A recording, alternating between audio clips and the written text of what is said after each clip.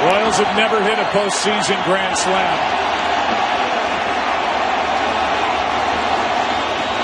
Bases loaded. Eric Hosmer chops one to Panik.